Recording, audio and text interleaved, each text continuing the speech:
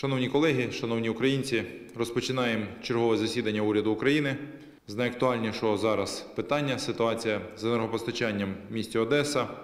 На пошкодженій ворогом підстанції сталася серйозна аварія. Як наслідок, Одеса опинилась без світла, тепла і е, подекуди води. Уряд енергетики мит- миттєво відреагували. На даний момент працює спеціальна група, яка на найвищому рівні займається цим питанням. Станом на зараз ситуацію вдалося частково розв'язати. Критична інфраструктура заживлена, у людей є тепло і вода. Ремонтні роботи тривають 24 на 7. Завдяки цьому, принаймні 4-5 годин на день у людей має бути світло. Ми робимо все можливе, аби покращити ситуацію, але будемо відверті, що пошкодження дуже серйозні. Наразі в Одесу вже завезли більше 80 потужних генераторів. Їх підвезення триває. У місті та районі працює розгалужена мережа пунктів незламності. Також сьогодні рішенням уряду виділяємо з резервного фонду державного бюджету Одеській військовій адміністрації 30 мільйонів гривень на закупівлю пального для генераторів. Це дозволить тримати в робочому стані критичну інфраструктуру до завершення ремонтів. Міністр енергетики та керівник Укренерго тримають усе на особистому контролі та продовжують звітувати про перебіг ремонтів. Ще раз хочу підкреслити, для одеситів влада зараз на всіх рівнях робить все, щоб у ваших домівках було тепло, вода і світло. Наступне питання, яке необхідно розв'язати, це питання позбавлення державних нагород.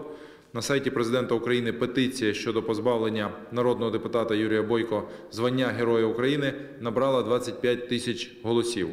У нас є міжвідомча група на чолі з першою віце-прем'єр-міністркою, яка займається питанням санкційної політики. Група розглядала питання щодо можливості позбавлення народного депутата цього звання на двох своїх засіданнях. За результатами розгляду члени робочої групи, серед яких представники уряду, НАЗК, СБУ, НАБУ, ГПУ та інших органів, дійшли висновку, що через колізію діючого законодавства деяких діячів станом на сьогодні неможливо позбавити вищих державних нагород.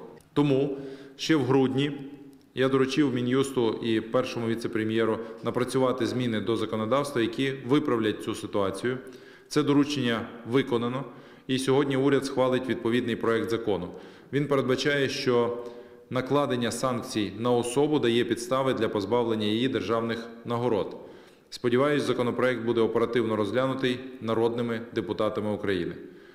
Також сьогодні уряд дає міжвідомчій робочій групі з питань санкційної політики доручення повторно розглянути питання щодо позбавлення Юрія Бойка звання Героя України, невідкладно підготувати пропозиції щодо застосування санкцій і винести їх на розгляд РНБО одночасно з набранням чинності вже згаданого законопроекту. Ще одне питання, яке так само викликає обурення, це ситуація навколо можливості допуску російських та білоруських спортсменів під нейтральним прапором до Олімпіади в Парижі.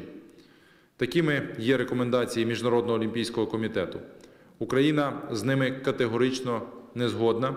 Президент України, Верховна Рада, уряд та Національний олімпійський комітет України мають консолідовану і дуже чітку позицію. Жодної нейтральності не може бути, поки триває війна.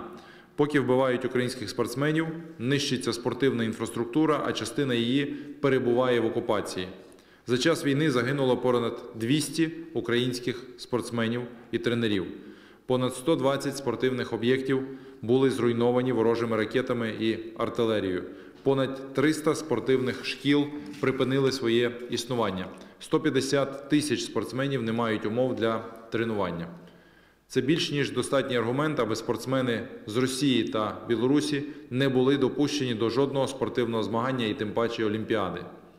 Польща, Естонія, Литва та Латвія вже засудили наміри МОК реабілітувати російський і білоруський спорт. Закликаємо світову спортивну спільноту проявити солідарність і завадити пропаганді війни, інструментами якої є спортсмени Росії та Білорусі. Наостанок від імені українського уряду хотів висловити щирі співчуття турецькому народу. Страшний землетрус в Туреччині вже забрав життя тисяч людей, тисячі поранених, десятки тисяч залишились без даху над головою. Україна знає ціну втрат і сьогодні гостро відчуває біль наших сусідів. Ми одні з перших запропонували свою допомогу. За дорученням президента України Володимира Зеленського Україна надасть гуманітарну і технічну допомогу Туреччині.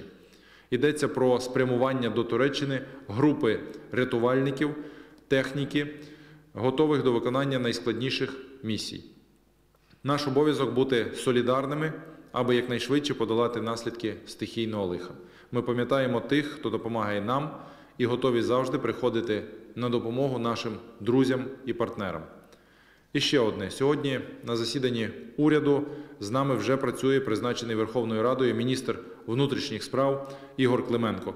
Міністерство було і залишається однією з ключових ланок в обороні нашої країни.